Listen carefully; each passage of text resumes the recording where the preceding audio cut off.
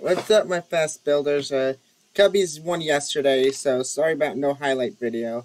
I would have done one, but I ended up with this really bad tension headache, so I couldn't get one done. So, uh,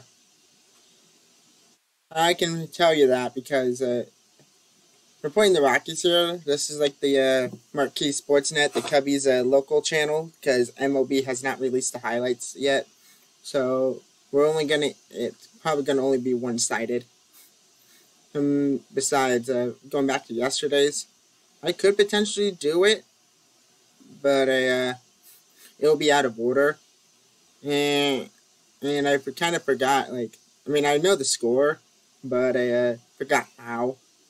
So, uh, let's just get into this video because I'm kind of experiencing a little pain in the back of my head right now. Again. So not much, but enough to do a video. Here we. Cubs, Rockies in the mountains. Uh, game one of a three-game set. We'll pick it up top three. Cubs down to dash. Oh, 1-0, two on. Nobody dead for Nick Madrigal. And that is what you call a professional piece of hitting. Yan Gomes scores to tie things at one apiece, Los. Madrigal watching right there, looking for the pitch out over the plate, gets it, hits it. Two down, nobody on. Let's see if Morel tries to launch one. There's a drive into left center field. This ball's got a chance. Get out the tape measure for Chris Morel. A long home run to left center, and the Cubs lead two to one. Oh boy, the Hall of Famer Pat Hughes uh, with his best Miss Cleo impression. Did he predict that? Yes, he did. 466 feet. And that was absolutely smoked. Uh, PCA and Mo Money uh, cheering. How about top six? Yan Gomes doing it again, Carlos. How about this? See the ball, hit the ball. He's locked in, man. Yeah, he stayed back on these off-speed pitches. He knew Freeland was going to uh, go to it. When he got it, he crushed it. Yeah, PCA stole second base, was trying to get a little greedy, swipe third, but a, a perfect throw down there. Ryan McMahon, it's almost as if he slipped right into that tag on Pete right there.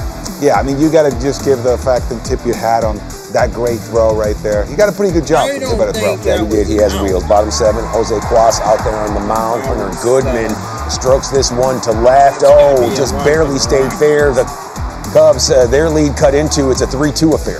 You see the Rockies just putting up a fight. Oh man, at home, why not? Uh, there's a sparse crowd, not a whole bunch of Rock fans, but uh, they were cheering the ones that were there. Brenton Doyle uh, now puts the Rockies up uh, by one. It's four to three, and Jose Cuas's evening would be over with. That would open the door for Drew Smyly. He was strong. So top of the ninth we go. Two on for Gomes again. Yan, look at the double steal. Double steal. Like we said earlier, all Yan could do was watch, smile, observe, and then put in more work, Carlos. And this was a great at bat. After the double steal right there coming through, elevated fastball.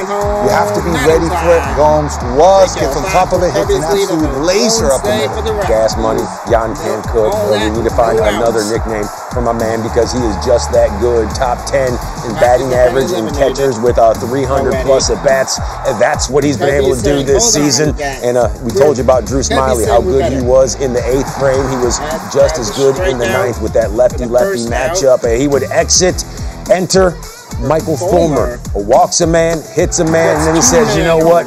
Uh, no sweat. I got this. Time to buckle down, Los. You see the east to west movement of that sweeper, something like it slider. The bottom line is this. That was nasty. That's right. It went uh, from one way to another. It was strike to ball, and he was getting cats swinging at it, and that's all you needed to see. A 5-4 W as the Cubs outpaced the Rockies in that hit department 12 to 7. They're now 60 and 9 when they out hit the opposition. As we told you off the top of the program, they're now 1 and 0 versus Colorado.